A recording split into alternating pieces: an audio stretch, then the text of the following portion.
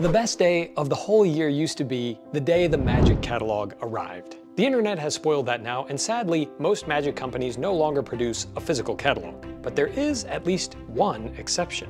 Potter & Potter produces some exquisite Magic catalogs. You want to flip through the magnificent pages of these books of magic antiquities?